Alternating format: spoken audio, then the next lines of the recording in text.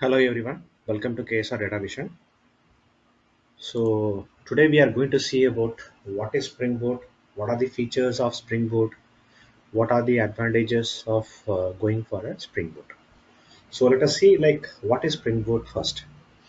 So Spring Boot is a Java based Spring framework.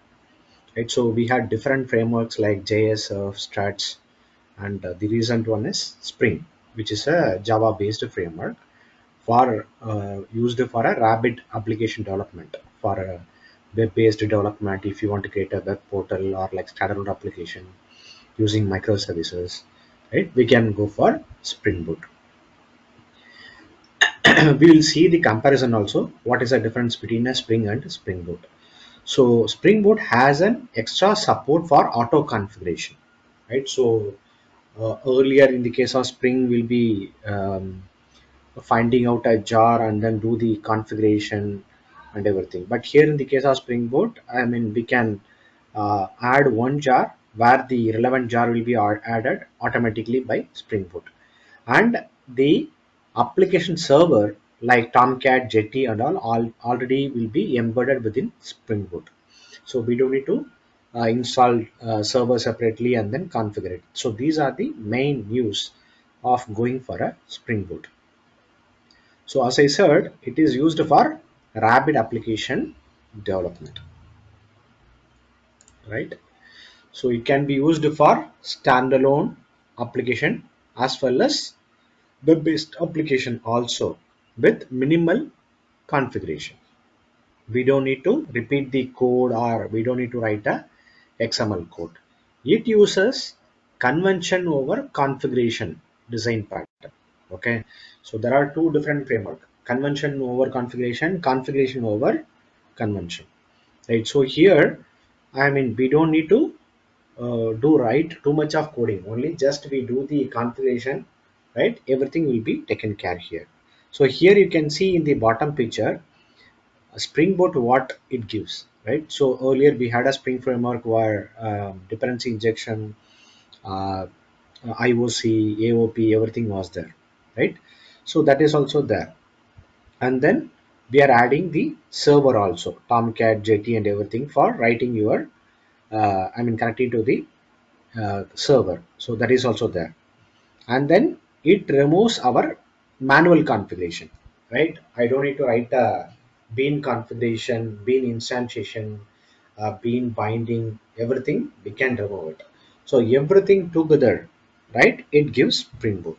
That is the main advantage. Okay. So what are the features of spring boot which makes a difference between a spring framework and a spring boot or any other framework? So it creates standalone spring application with minimal configuration. As i like said we don't need to write manually dependency injection to everything okay and it has embedded tomcat server okay? And it has embedded h2 database also okay? And it provides production ready features. Like if you want to add a, actuator like you can uh, see the health condition of the server. So you can uh, see how our server is uh, running with our present application load whether it is scalable or not how the health check is there right uh, so earlier we'll be using jmeter and everything instead of that we can use this actuator for checking the health check and absolutely no requirement for XML configuration. Everything is annotation. Right? So right hand side you can see what are the things like I can create a Spring Boot application, simple or complex one, and then lazy initiation. What do you mean by lazy initiation? I mean whenever it is required, some of the bean configuration or whatever, whenever you need at that time you can instantiate it. Okay admin features. Like a lot of different features are there how we can do an integration how do we configure it. Uh, i mean uh, you want to change the database connection you want to change the production readiness everything you can change it. And security. So spring itself has a module called spring space security. So with that we can ensure like security feature is addressed logging if uh, i can integrate sl4j logging or commons logging or whatever we want to do a audit uh, trial right everything we can do it with the help of logging caching right i want to store in my uh, I mean, whatever the server data I want to store in client, I can use it with the help of caching. Kotlin support. So we have Groovy, Java, Kotlin, right? So different languages support also will be provided by Spring Boot. Validation. So I want to validate a field. So earlier, uh, only Struts was having the validation framework. Right now, I mean, Spring also has, I mean, starting itself, it was there, but it has been enhanced. So you can validate a field while, uh, I mean, uh, key in uh, itself. Okay. And then JSON support. If you want to integrate with the REST API, we don't need to send the entire HTML. Instead of that, you just send the data through JSON or XML, right? So that way, I mean, Spring Boot will help how you can render the data in UI, frame, UI any UI framework from Spring Boot, and then testing. Uh, I mean, it is very easy for integrating the testing environment, and then we can do, we can write the test cases and then execute uh, testing with any kind of customized framework as well as Spring framework, and then uh, do it. So these are the main features of Spring Boot. So what are the advantages of uh, going for a Spring Boot? So easy to understand and develop a Spring application. And we have the embedded HTTP server also, which is in the which is not there in the existing framework. When we are comparing Spring framework, we don't have that framework uh, where we can embed the uh, server. So we have to manually configure it. So that has been removed and then configuration is easy i'm not going to write multiple xml right? Increase productivity and reduce development time minimal configuration okay? We are not going to write any xml configuration. So these are the main advantages. So what are the key components right? So these are the four key components. Auto configuration right? So we say like at the rate spring boot application that will take care of everything. Cli I. Can uh, create a project and then run a project using CLI command line interface. And starter POM. So POM.xml you declare any dependency that it will take care it will address whatever the dependency jar file you want to take it. Spring Boot actuator where we can do the health check of the server application everything. So these are the key components of Spring Boot. So here you see like why Spring Boot over Spring? So pom.xml is one, right? Uh, so we are not going to find out which jar, what compatibility issue, everything has been removed. Version management, I can do versioning like CI/CD. If I want to uh, do a versioning on a file or a folder or anything, I can do a version management. Auto configuration, right? So that we'll see down the line how uh, at the rate Spring Boot application helps multiple configuration Component scanning how this auto configuration helps component scanning like instead of uh, going through each and every file uh, if I mention a package how I can scan it what are the dependency are that so that is called component scanning. Embedded server. So inbuilt features of Spring Boot where it is not there in Spring Framework. Inbuilt memory like H2 database is there in the case of Spring Boot whereas in Spring we have to manually configure. Actuator to monitor our health check. So here is the difference between Spring and Spring Boot framework. So here you can see like it's a popular framework. Here Spring Boot mainly came here to support our REST API development as well as with the help of JSON data, I can render my UI page. So it is so simple, right? So in Spring Framework, uh, uh, I mean, we can remove the boilerplate code But in the case of uh, Spring Boot, I mean, it is easy, shorten the code development. I mean, you can use annotation instead of XML. Here in Spring Framework, we have dependency injection, IOC, and, and everything. Whereas the case of Spring Boot, we are having actuator to monitor our health, right? And then Spring is lightweight, and then we had multiple components in place. But here in the case of Spring Boot, dependency management, we can just add it by configuring it so whatever you want to add it you can plug in it right so again here spring framework with the help of pom.xml you can do a dependency management. Here in the case of spring boot auto configuration. One jar you add it automatically it is going to pull other relevant jar for the particular project to run. In spring framework we have to do a jdbc abstraction layer error handling and everything. Whereas the case of here embedded server is there going to support it. Here we have multiple things in case of uh, Spring Boot.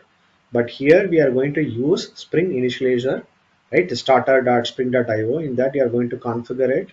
Uh, one jar will be having multiple jar. So these are the main differences between a spring framework and spring boot framework. So these are the features. So we have seen uh, what is a spring boot what are the main features what are the key components and what makes a difference. We are going to see about how spring boot works internally even though we use uh, from the application front we have to know behind the scene what is happening when we add a annotation at the rate spring boot application right? So without knowing if we add it what is going to happen we will not be sure right? So we're going to see about uh, how it works. So when we go to spring boot application that is the main annotation which is used for invoke the main method of the Spring Boot application. So which is a combination of these three below annotations, right? So for example, if you look into, uh, once again, if you look into configuration uh, and then enable auto configuration and then component scan.